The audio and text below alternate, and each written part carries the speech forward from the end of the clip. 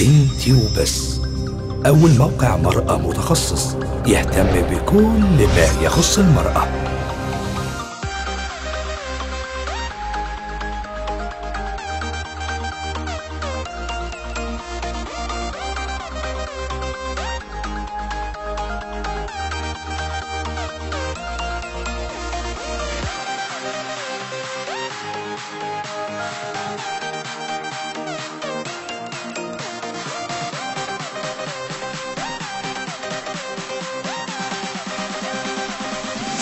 مركز التصميمات والموضة ابتدى من 2001 وهو بيتبع وزارة الصناعة.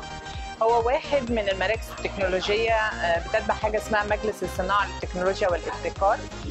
هم 13 مركز آه، منهم في الحلي في الجلود في البلاستيك في مختلف الصناعات. المركز هنا المفروض إن هو من أهم أهدافه إن هو بيساعد آه، صغار المصممين من الشباب إن هم يبتدوا أول خطواتهم آه، في عالم ال business يبتدوا مشروعهم الصغير. ده هدف رئيسي للمركز. الهدف الثاني إن إحنا بنقدم للصناعة استشارات فنية بنقدم مثلا باترونات. لو جه مصنع يطلب مني باترونات بعمل له الباترونات اللي هي المظبوطة. لو عايزين designs جديدة تصميمات جديدة أفيدهم بيها. وكمان الأفراد نفسهم. إحنا بنقدم أفراد اللي هم اللي بيشتغلوا عشان يشتغلوا في المصانع أو اللي already بيشتغل وعايز ينمي قدراته. فإحنا بنطلع اللي هم ال qualified personnel اللي ممكن تشتغل في في المصانع.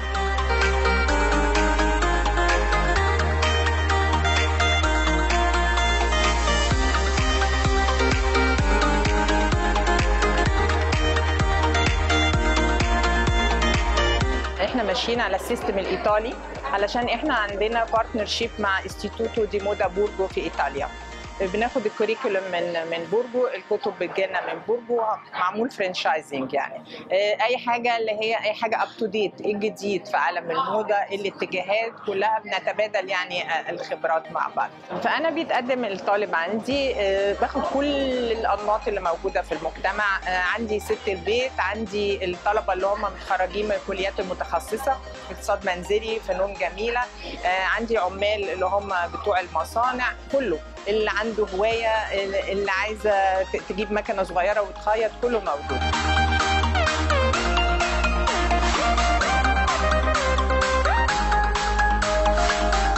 مرمر حليم هي فعلا كانت very active يعني فعلا مثال للطالب المجتهد جدا وعندها أفكار وعايزة تشتغل.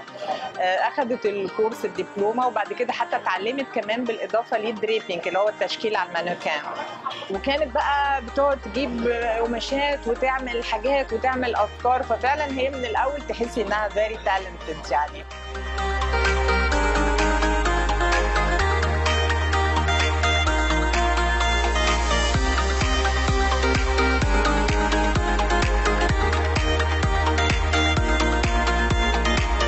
علاقة بقى ده ال baby بتاع ال center اللي كبر.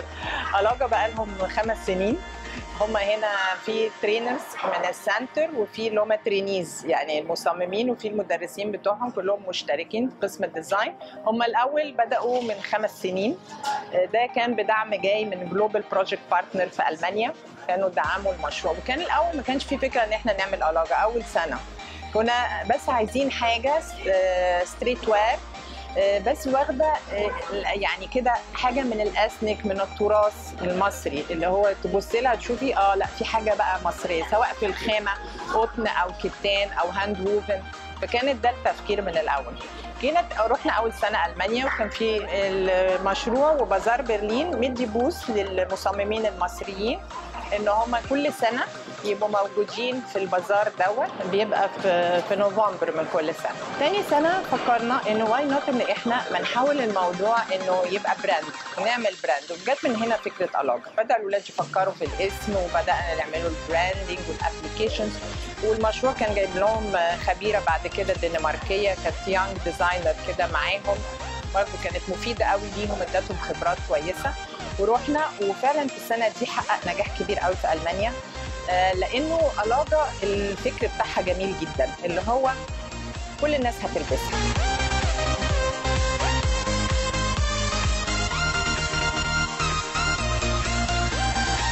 بقول لكل الناس بجد يا جماعة مكان هنا فعلا حاجة مختلفة حاجة جميلة. انت وبس. رئيس مجلس الإدارة محمود إسماعيل. الإشراف العام أحمد الهواري. أحد مواقع مجموعة وشوشة الإعلامية انت وبس دوت كوم.